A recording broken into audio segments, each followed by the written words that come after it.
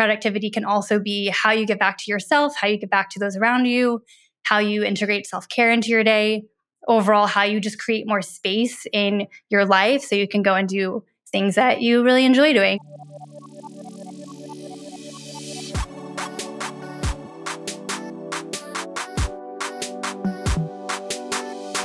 Hello, my loves. Welcome back to the Lavendaire Lifestyle Podcast. It's Aileen. Hope you're having a beautiful day. Today, our episode is on intentional productivity, getting your life home, and digital space together. This episode is jam packed with tips to help you live better and more in tune with yourself.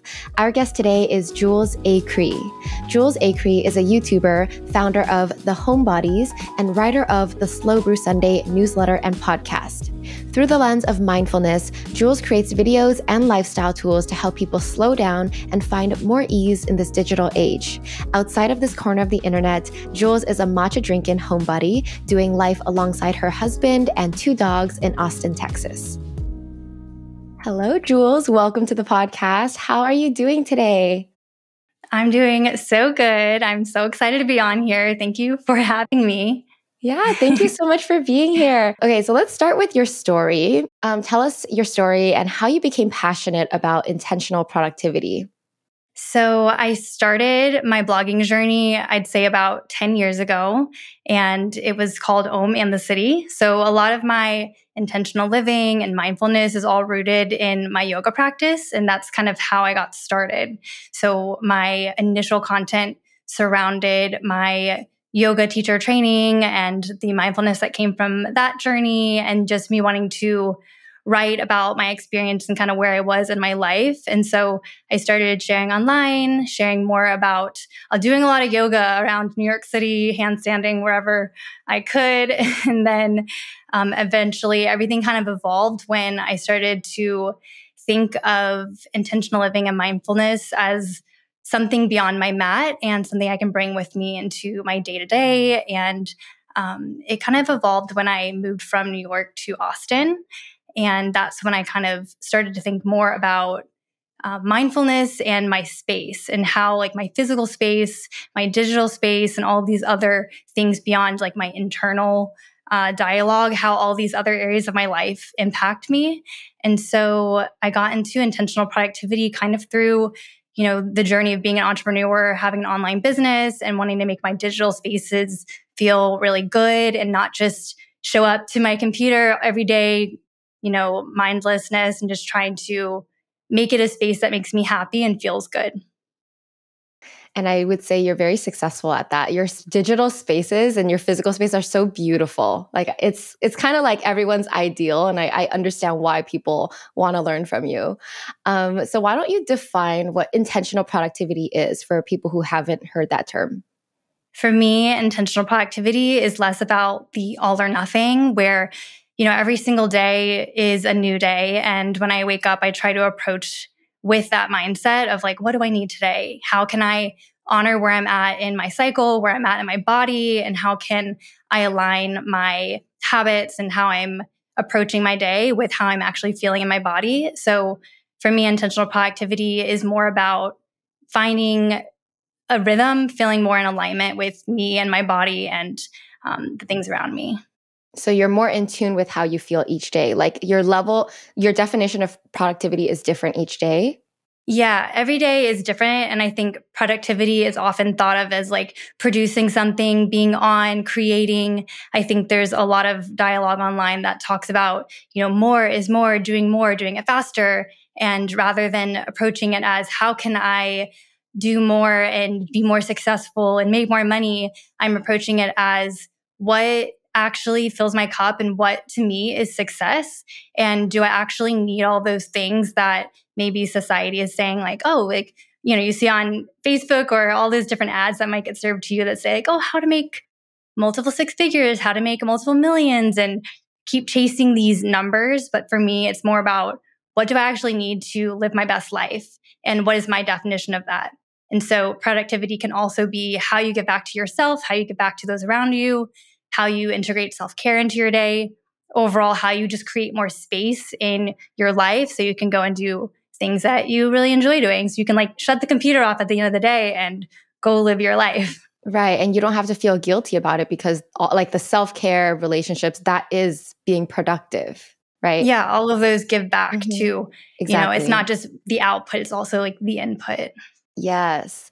So, what is your definition of success and what makes you feel like you can say, oh, I'm satisfied? Like today was a very productive day for me?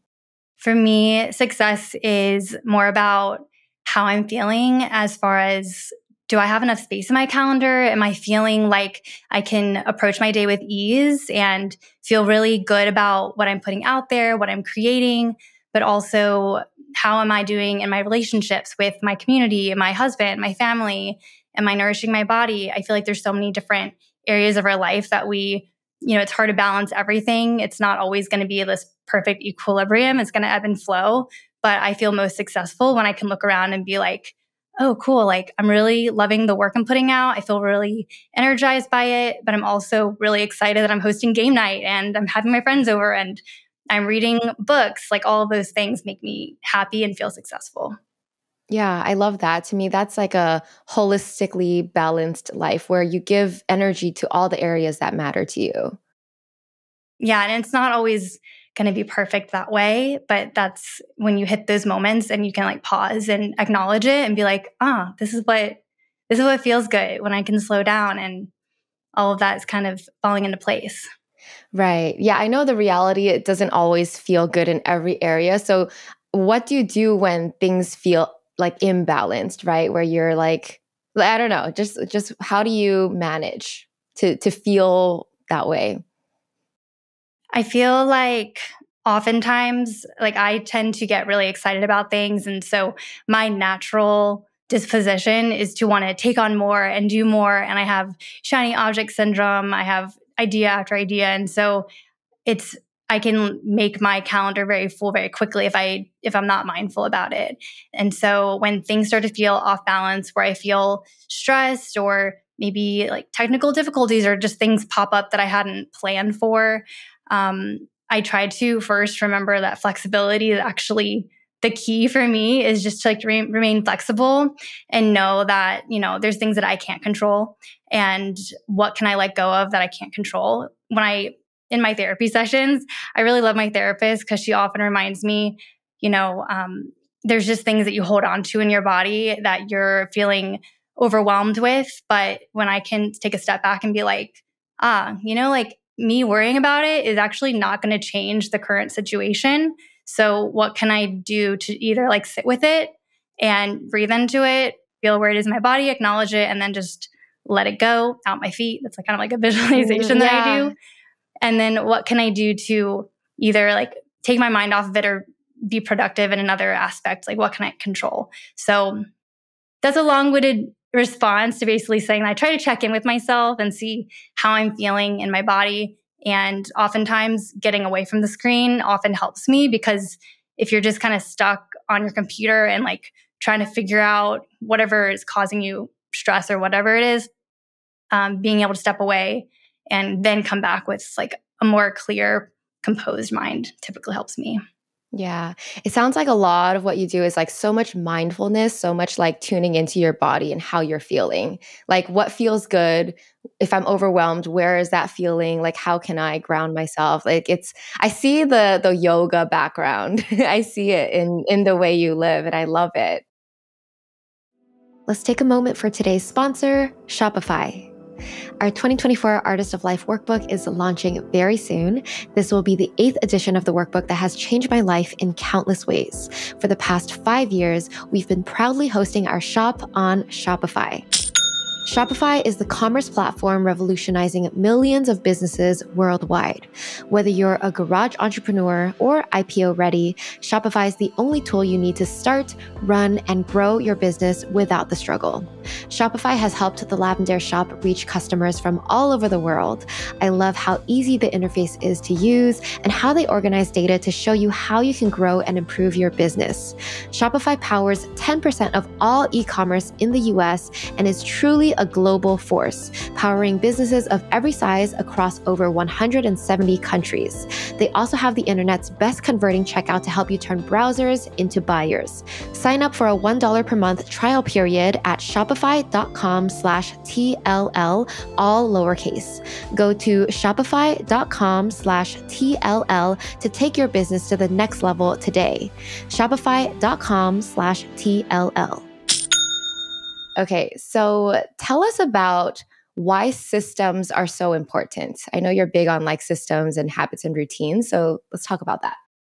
Yeah, so I really got into the system side of things because I am naturally very floaty, very creative. I have, you know, a hard time focusing, and so for me creating a system where I can put all my ideas and capture them, but then not let them rest in my brain and store them in my brain, I can put them somewhere that I can refer to later, but maybe not take action on them right now. So it's kind of started with that perspective. But then I really started to enjoy the process of creating systems. So Notion is, I know that you also love Notion, mm-hmm. and it's a platform that has really just changed everything about how I approach my business. And um, it's allowed me to create more space, but also become more intentional and realize, you know, this is the stuff that I'm focusing on this month. I don't have to look at everything like a giant uh, block of the calendar. This is, I'm looking at everything at once. It's more, I can take things piece by piece, step by step. And I loved creating those systems to help me kind of get all the things out of my brain and just into a system that helps me thrive.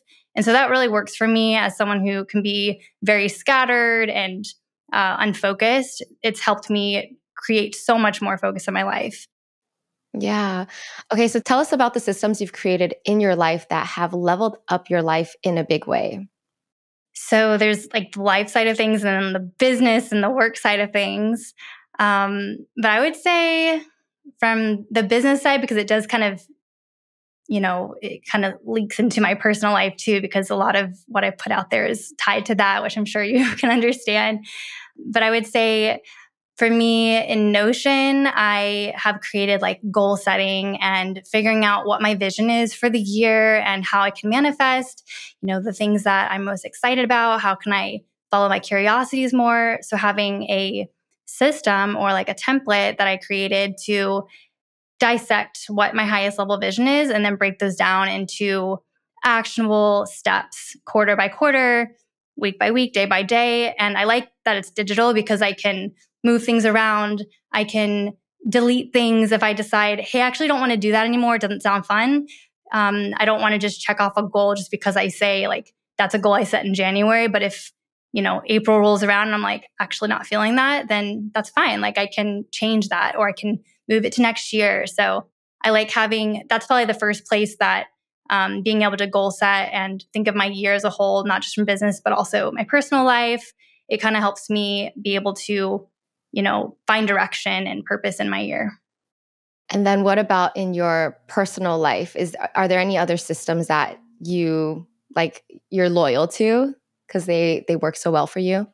I have a very nerdy system of tracking my Korean dramas that I watch oh and different like hobbies and interests that I have. And even though it's like it's maybe seems not that important. To me it's important because it's allowing me to lean into something that's fun and engaging for me and be able to dive more into um, just being an adult that likes to do things outside of work and have more interest beyond what i do between like monday through friday nine to five.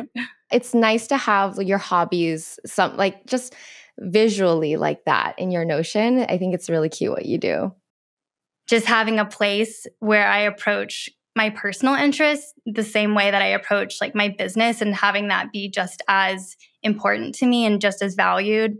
I think it's been helpful for me to find a little bit more balance. Yeah. Okay, so tell us about your habits and your routines in life. Like, are, is there anything that you do every single day or every single week to keep yourself centered, grounded, everything? Yeah, I think the the one thing that I've been the most consistent with for years and years has been drinking matcha and for me it's just a grounding practice and I when I'm like whisking my matcha, I think of like the day that I want to have or like the intention I want to set. And it's kind of like a little habit stack, but it's very, it's not something I have to think about now. It's just something that I do every morning. So like I wake up, I ask myself, how do I feel today? Like what, how am I feeling in my body? And just kind of do like a scan and then making my matcha. And then I try to get some movement in, but every day is different. So I try to meet myself where I'm at and also be mindful of where I'm at in my cycle. I'm not an expert with cycle syncing, but following my cycle and learning more about the different phases has been really, really impactful for me and allowed me to like have a lot more compassion for myself and ease and um, do what I can to kind of work with that. So, why matcha? Tell us about the benefits of matcha. Or is it just the intentional, like physical routine of just mixing it? I mean, I love the taste of matcha. I also like that it's caffeinated, but it's more of a grounding energy because it doesn't get you as jittery as coffee can be. But I love coffee too. I do not discriminate. I love my cozy drinks. Um, but for me, matcha, I just like crave it in the morning. And I think oftentimes like a morning when you when you get started in your workday, a lot of the thoughts are like racing in your head. So there's just something about drinking my matcha, sitting at my desk and kind of figuring out what my day looks like, it just makes me feel like literally anything is possible. And so I try to do things in the morning that, like, if, for example, if I'm trying to brainstorm something, I'll put it on my calendar close to like when I'm drinking my matcha because I'm like super amped up and I'm like, yeah, I can do this. Oh, I see. Okay, that brings me to another question is how do you prioritize your tasks every single day? Like, what do you have a system and what do you use to like consider, okay, oh, this is the highest priority or this is right?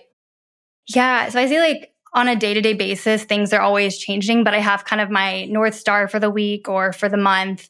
Um, and I use Notion. I have a template that I created that is based off of my own system that I use with my team. It's called Down to Biz. And so essentially, from that we have like our projects that we're working on we have you know our roadmap of kind of where we're heading for the year and then from there we kind of know what initiatives or things that we're working on like the um, launching podcast or like any newsletter things we kind of know what the high level intention is for that week but then the daily tasks are very fluid like for my team we don't really work on like this is due on tuesday this is due on wednesday it's more like hey, by Friday, like these things should be done. And we kind of keep it a little bit more flexible. Um, and I think that just allows people to be able to work with what, you know, work at their own pace. Um, but it allows us to make sure we're also like moving forward and getting things done. Right.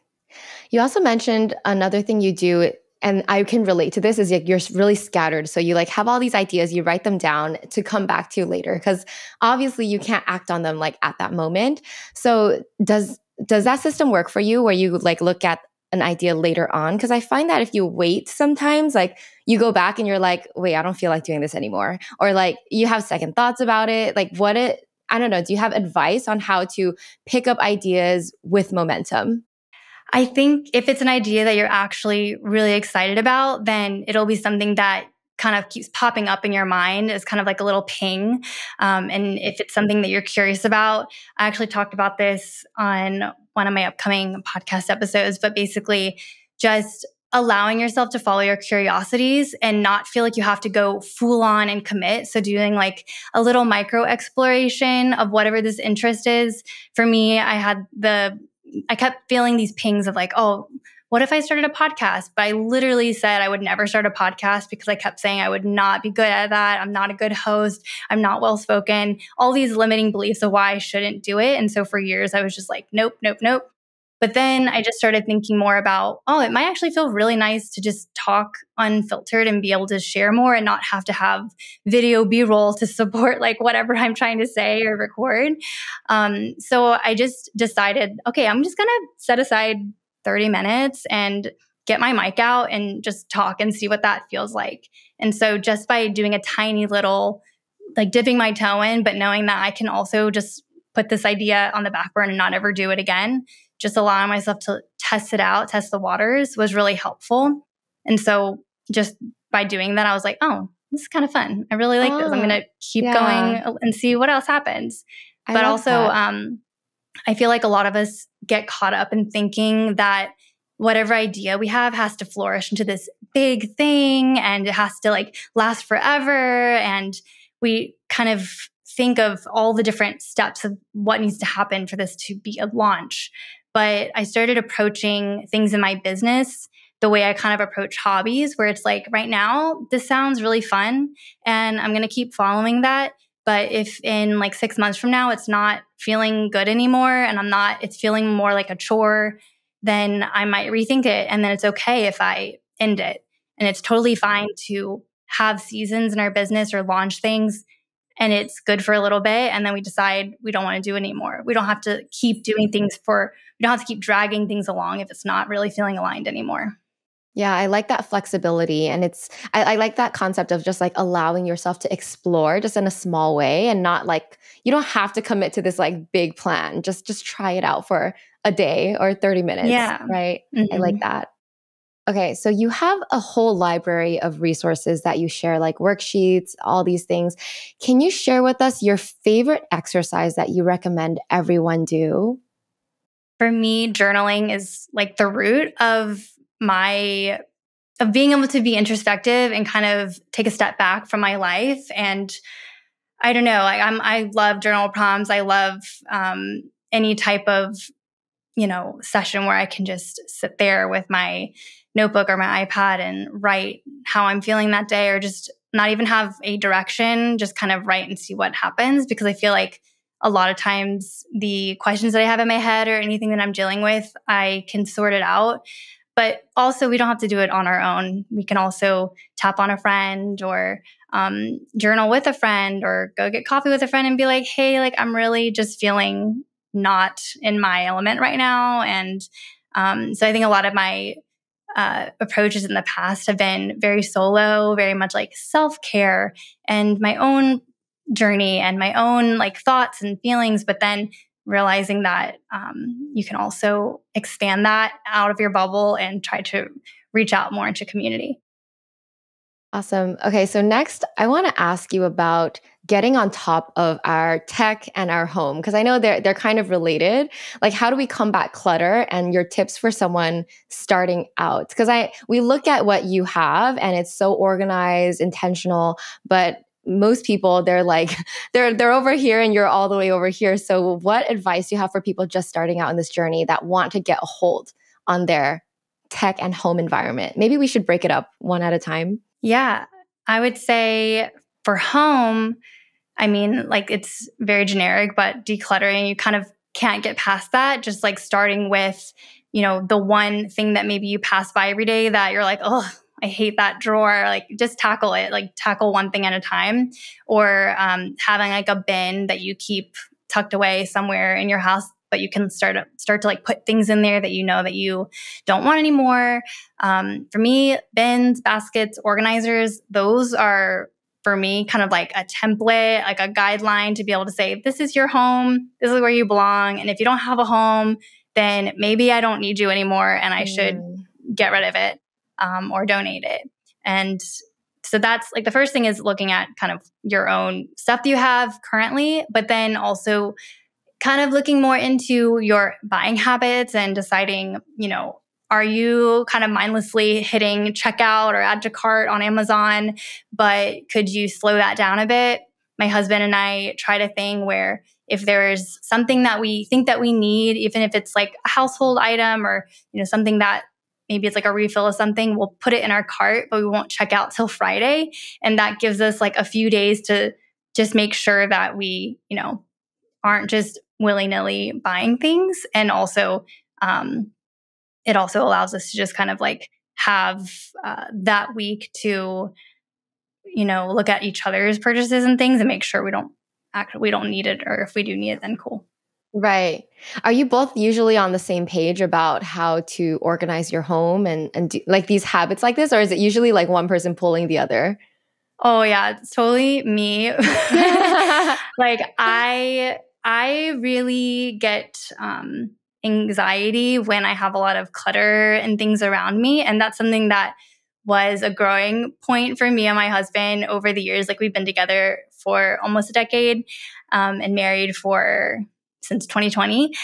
And so, like living together, we kind of learned, you know, this is my um, this is what I consider clean and this is what he considers clean. And so yeah. trying to find that gap and bridging it and finding like a happy medium.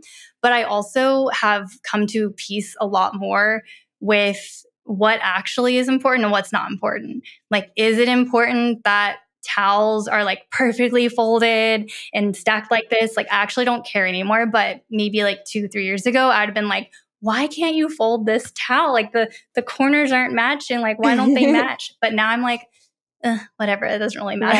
Right. yeah, yeah. You you begin to compromise. I feel like I that's my experience too, where I used to have this standard, and because my boyfriend is all the way over here, we have to meet in the middle. yeah, and it's good because we really balance each other out. I feel like Andrew's very easy, go with the flow, and he allows me to also kind of remind myself, oh, it's not that deep. Like, this isn't that important. But then he does, he's really receptive to things that are important to me. If I say, like, hey, I get, I really need the kitchen to be clean at the beginning of the day because my office faces the kitchen and it causes me, like, I can't concentrate when I feel like there's like a pile of stuff. And he's like, oh, okay, yeah, I get that. Like, let's work together on a system to make that work. So, whether that system is do we do our dishes at the end of the day and we don't just leave them in the sink overnight? Then we wake up to a clean kitchen. Then cool. That works for me. Yeah.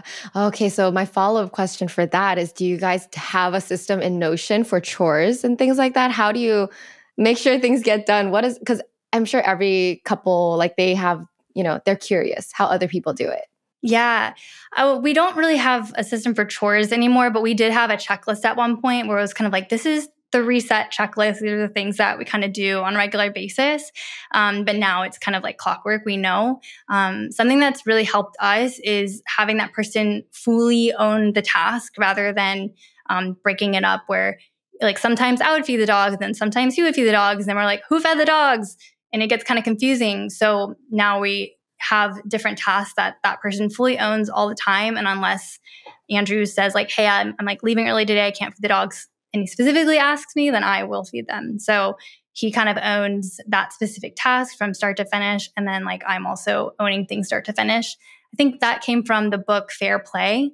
Um, and that was very helpful. Yeah, but yeah, I'd yeah. say like other systems that we do have is our finances. So that's kind of how we um, we use Notion to have these like monthly finance meetings that we've been doing for maybe four or five years now.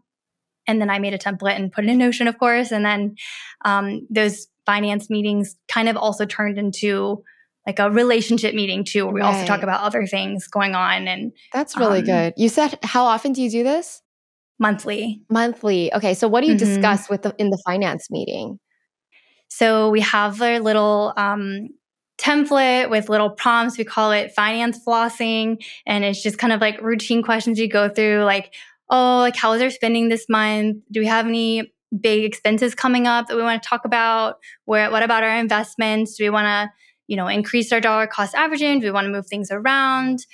How are we feeling? Just like checking in on all of that. We don't really set I learned that budgeting is not really for me in the sense of categories, like saying, oh, you can only spend this much on groceries, this much on shopping, this much on dogs rather than thinking of it as like little categories and buckets, I think of it as as long as we're investing the amount we want to invest each month and saving the amount we want to save and paying our fixed expenses, then whatever is left is kind of our, you know, mm-hmm. shopping money and food money right. or whatever. Okay. Yeah. Wow. That sounds so organized. Okay. I so, have that template. Actually, yeah. I was going to say, I have that template in our um, Notion hub that I share with people who sign up for my email list. And that, Amazing. Um, yeah, is like literally everything that we go through step by step. I love that. Okay, we'll share the link to that. Um, okay, let's go back to getting on top of our tech. So if someone has like a messy desktop and no or no system for their tech, what advice do you have for them to start? I would say well, okay, so like your desktop is one thing, but I also think that we have so many different apps that we're using. So sometimes you're like using your Google Calendar, but then you're using Asana, then you're using Notion, then you're using ClickUp. Like there's so many different apps out there. So I would say like find a way to simplify that and just pick an app that works really well for multiple areas so that you can start to, you know, not have so many different tabs that are open. Um, I also downloaded a browser recently called Arc. I don't know if you've heard of it, um, but it has been a game changer. I don't even use Chrome anymore. Okay, how I would so? say, yeah, it's so it, they're basically um, they're a browser company and they're redefining kind of what that looks like and um, like the tab is on the left side i don't really i can't it's, it's easier for you to check it out than me explain it but it's allowed me to like clear my tabs at the end of the day but then also keep the things that are important and it's just you have to kind of experience it to yeah, understand but I gotta it's try arc it. it's okay. so great. So that's been really good with my tabs and organizing those. Um, but I would say like my desktop's pretty simplified because anything that's on your desktop for me it should be stored in a cloud. So the way i approach like stray files or things is like anything in my downloads anything that's on my desktop that's all like temporary stuff and can be deleted monthly or you know biweekly whatever you choose so if i have something on a desktop then if it's important then i need to put it in the right folder in dropbox mm. in a cloud I so see. i'm always trying to clear space and um, manage all that. Right. So storage. basically, in Dropbox, you just have everything organized in, in folders. Yeah, I have everything organized in folders. I have like my business, I have my personal life. You know, I save like, I'm very sentimental and I try to like screenshot things that I really like or take yeah, photos. What about like, screenshots? Cards. Do they just get their own folder? Because we um, always have these random screenshots that we want to keep for some reason. Yeah, I know screenshots can get wild and like out of control, but I try to just like take care of it right away. Like if I screenshot something on my phone and it's like something I want to like save actually save to look back on in a couple years, then I'll like text it to my Slack or something or put it somewhere that's not just like in my camera roll. Okay. Um cuz if I wait then I'm just going to forget. But right. yeah, so pretty much anything that's just like left in my phone or left like in a screenshot folder that can also be deleted because mm-hmm. anything important will get put in the place it needs to be put. Do you delete photos on your phone? Like, do you clear out your camera roll? Oh, photos. See, photos, that's like videos. the hard part. I know because um, it also syncs to like the desktop photos app on I have a Mac. Okay, I see. Um, but man I, I would say like that stuff is like really hard because like video is actually like what i'm trying to figure out how to manage because a lot of like the apps that i edit with on my phone still pull from those videos. So it's like i can't delete the video because then the video is broken in the app. Anyways i feel like if someone can crack the code on the camera roll like i would pay good money for that. I i think that will be the future. Like it's got to change. It's just too much right now. Yeah i agree Let's talk about your journey as a creator and entrepreneur because I know you've been saying you you've been doing this for a decade. So tell us about like the lessons you've learned. Like who how have you evolved since you started? I would say like maybe it's cheesy, but I feel like I I've changed a lot, but I also feel like at my core I'm the same person that I was at the beginning of all of this. But I think like over time I started to step into having more confidence because confidence was something that I've always struggled with. Um, just like limiting beliefs or not feeling like I'm good enough or capable enough. Um, and that's just like a story in my head that I'm constantly just like, hey, actually, like you're good as you are. And like what you're doing is important and valuable and provides, um, you know, it's like helping other people. And so those things that, I mean, over the time, over the years, I feel like I've evolved from questioning that to also stepping more into that and being like, yeah, this is, I've taken kind of an alternative path. And maybe not everybody, you know, understands like my career path specifically and like, you know, thinking of like family and friends from like way back when, like those types of things. That was always a struggle, just me trying to like not worry so much about other people think and following things that make me feel excited and things that I think that I'm genuinely good at doing. And so I've found more confidence and security in what I do. Um, I've found more fun with it because I think when you're first getting started, you want to make sure that you can like, you know, support yourself. I was living in New York City in a studio apartment and I had quit my job and I was doing this full time and didn't really know what was coming next. You can't really predict the future in this digital world because everything changes so quickly. Um, but I've always kind of been okay with flying by the seat of my pants and not always knowing what's next. Um, I feel kind of energized by that. So, yeah, I think just like finding more fun and knowing that I don't know what the future is going to hold and being okay with that, but knowing that I'm enjoying their journey along the way and not just getting caught up in feeling, you know, overwhelmed or getting caught up in all the deadlines and things, but also being able to like step back and slow down and be like, whoa, this is cool. Like I'm doing cool things and I feel in alignment. I don't want to look back, you know, three, four, or five years from now and be like, I don't even remember doing those things because I was so in it and had tunnel vision. So I feel like now I've been able to really step back and just like be more grateful and enjoy the journey. I mean, it must not have been easy in those early years. Any content creator, any entrepreneur will say, like, the early years, you're really like everything's uncertain. You don't know if you'll make like, there's so much that you have to go through internally, externally. So, how did you make it through those early years when you're trying to support yourself in New York City and you're trying to do this thing that's so different? Like, what kept you going and what, what made you, you know, have that drive? I feel like you know, you can have all the strategies in the world, but if you don't have like trust in the process essentially like at the end of the day no matter you know what insecurities might pop up i still had this trust in myself that like i'm not going to let myself you know not be able to pay my rent. Like i will figure these things out. And somehow i was never in a situation where i couldn't support myself. Every year since i let go of my uh, nine to five job and started working for myself, my my income had increased every single year, and I've never gone back. And so I don't know. I I think I partially just kind of found peace and like I'm doing it, doing the best I can, learning as much as I can, asking people, you know, talking to them, not just being like a little homebody recluse, but also tapping into my community around me, um, and just trusting it's more of a spiritual thing. I really can't explain it, but yeah, I just it's like you trust that you'll be supported and life does support you, right? Yeah, exactly. Okay, I think that's beautiful. Um, was there a moment where you felt like it all clicked for you? Because uh, you know you're kind of figuring it out in the beginning, and then there's a moment where you're like, "Oh, this is what's working. This is what I'm meant to be doing." Like, was there a moment like that for you?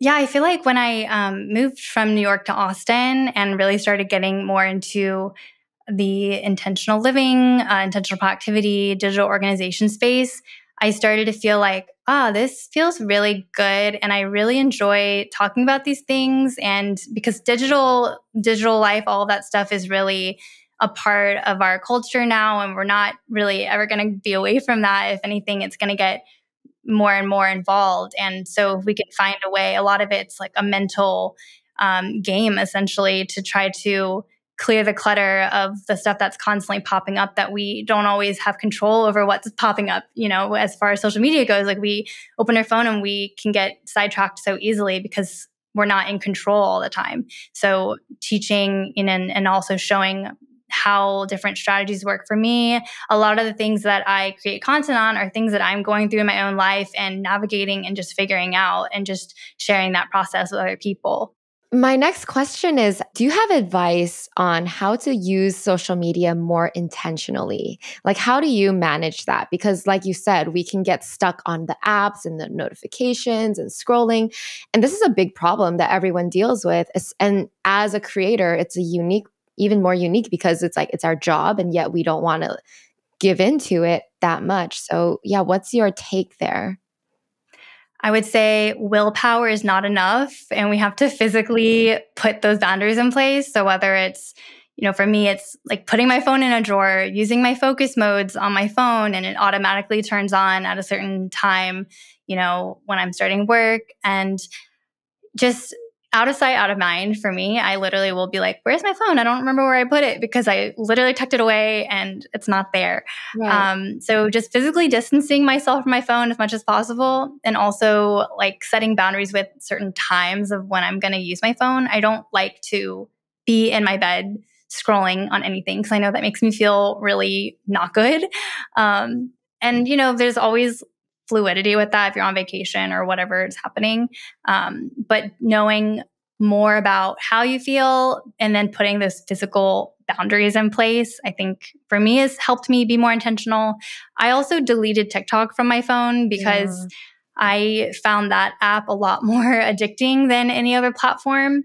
And I, yeah, I actually, it's been great not having it. It's been maybe like two or three months now. Um, and so I have it on my iPad because I do have to post on there for work sometimes, or just like if I want to post, then I'll just use my iPad to post. So, yeah. Nice. Okay, next question is Do you have advice for releasing the guilt around being unproductive? Because I think a lot of people deal with this as well. Yeah, I would say, you know, our bodies are going to tell us when we just can't no more, when we just like need a break. And we can either give ourselves that break and enjoy that break, or we can be in our heads and feel guilty about the break that we're inevitably going to take anyways. So to me, it's like, I am not going to feel guilty if I'm going to read a smutty romance novel and just like chill on the couch. And that's me pouring back into my soul and being able to show up more fully in all the different roles that I have in my life.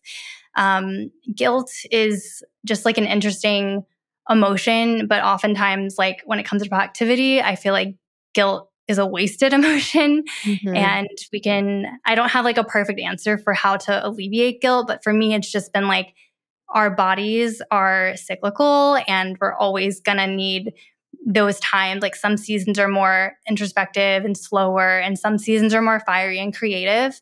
And when you zoom out at the when you zoom out and see your life as a whole and you see all the peaks and valleys that's kind of what makes it cool and makes it your journey.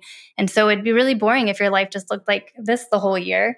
So i just try to lean into that knowing that um, yeah things are always ebbing and flowing Right. Because ultimately, I think guilt comes from having like that high expectation for yourself. That's sometimes unrealistic expectation for yourself to always be on. Right. And just like you said, get, you need to pour back into yourself. And that in itself is productive. So I think it's just about like changing your mindset on, on your definition of productivity right? Yeah. And if guilt is something that you're feeling because you think you should be doing something because somebody else wants you to do it, or kind of looking at what are the external factors that are leading to that guilt and how much of that story is actually true and how much of that is just something that you're kind of putting on yourself and getting in your head about.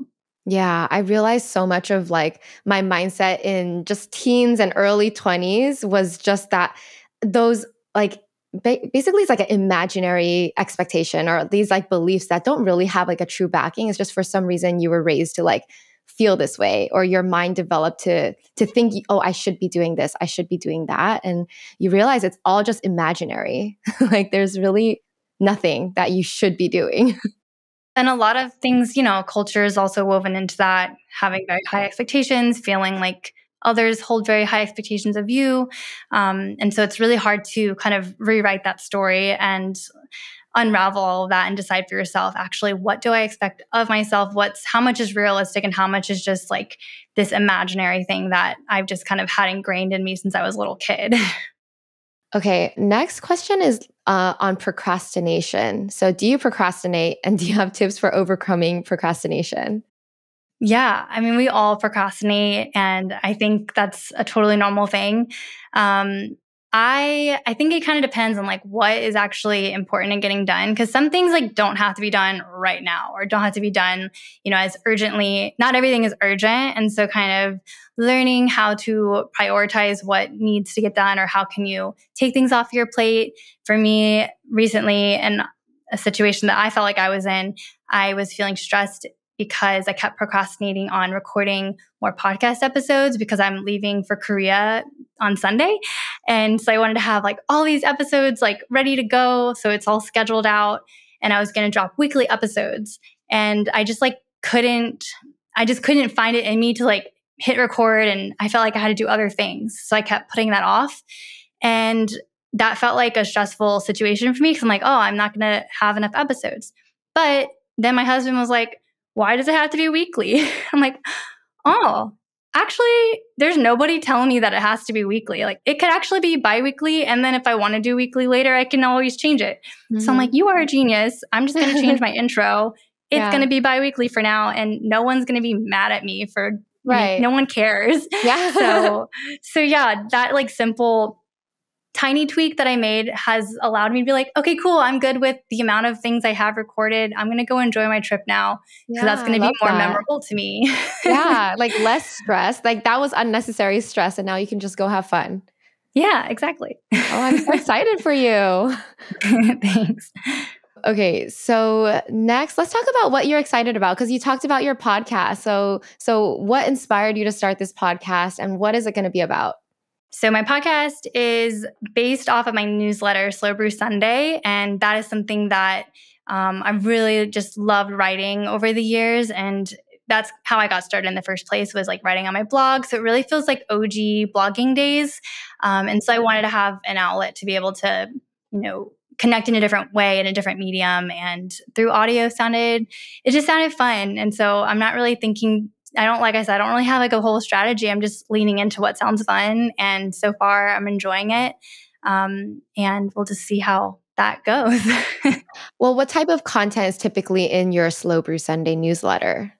Um, so, Slow Brew Sunday is all about sharing intentional productivity tips, mindful shifts and just like tiny little actions that we can take to make us feel better in our day to day. So it's all about slowing down, simplifying, simplifying, and finding what feels good. And I share personal stories of you know overcoming limiting beliefs or how to stop being chronically overbooked, how to create more space how to tap into the power of pause, things that are more themes that I have worked through in my life that I'm just sharing with other people. And right now it's a solo podcast, and mm-hmm. maybe I'll have people on at some point, but for right now, it just sounds fun. Yeah. yeah. How long are these podcasts going to be? They're pretty short. Um, I'm trying to keep it around like 18 to 25 minutes because, okay. yeah, I just wanted to feel solo. It's like you have to talk the whole time, and it's it's a lot. yeah, lot. that too. Like honestly, I was talking and like, wow, this has to be like 35 minutes, but it was like 18 minutes. wow, I have to talk so much. But yeah, yeah I think um, for me, I wanted something to be short, so short enough that people feel like they can, you know, um, I don't know, wash dishes and like do their laundry. Yeah. It's digestible. There's yeah. always actionable takeaways. Yeah. So that's yeah. nice. I like that. I'm excited for you. Can you share some of these like tiny shifts that you talk about in your newsletter and podcast? Like what are some action steps or, you know, some tips that we can take away today? So, um, in an episode that's coming out soon, it's about um, being chronically overbooked and how we are always adding more to our plate or saying yes to things. And so I share a just the thought of pressing pause because a lot of times we think like, oh, I got to get back to that email or oh, I have to like give them an answer now. But realizing that not everything's a priority and what's urgent for some people doesn't have to be necessarily urgent for you. And so I share like seven different questions that I go through to kind of assess like do i have the bandwidth for this? Am i actually like mentally and emotionally in a place to take something like this on? Or am i saying yes out of guilt? Am i saying yes because i think i should? Or is this something that i'm like really excited about? Or even if i am excited do i even have like the space in my calendar? Just little tiny questions like that that can help us reassess why we are constantly ending up in a place where we feel like we're just going from one thing to the next and have so many things on our plate that we don't have any downtime or time to just like relax and get into the flow state and do something creative. Um, so, yeah, just like tiny little prompts and shifts that can be put into action right away. I love that. Um, do you have like a structure in your day where you're like, oh at this time i'm gonna like shut everything off and and devote my time to k dramas or myself like how do you structure your days to allow for that self-care time? I try, I mean I I created like a YouTube video about how I block my calendar. This is a couple years ago, and I have themed work days. So some days are my potato days where I'm like not I don't have to put makeup on or get dressed or look a certain way because I'm not filming, I'm not on camera. And that kind of gives me permission to just not have to constantly be on. So I'll have like my potato days, and then I also have like my creative days where I'm maybe taking meetings or just like batching things where I'm already in that zone. Um, and it's helped me find more balance that way with creating content. It's not just a free for all. Like any day could be a content day because that feels stressful for me. And some days I just want to wear my yoga pants um, all day long, and that's that. So, um, yeah, I kind of try to start my workday around like 8:30 or 9 and I try to end my workday around 5 sometimes earlier and I also try to take Fridays off or make Fridays my like cafe days where I meet up with friends and co-work or I'm doing more like af- life admin tasks and just having that Friday open, no meetings, no like major things that I have to like focus on. It's more like keeping space for me to do other things that aren't in my weekly to-dos. Yeah, I like that. And then about the part where you're, you know, if you have a lot of ideas and you want to fill your plates, but it's obviously we we don't have we have a limited bandwidth. So how do you like approach like working towards all these different projects? Do you limit yourself to focus on like one main project at a time or do you just like devote a little bit of time for each idea? I think it kind of depends because some projects require different energy than others. And sometimes you might be fired up to work on something, but then the other one you're kind of not as excited to work on at the moment.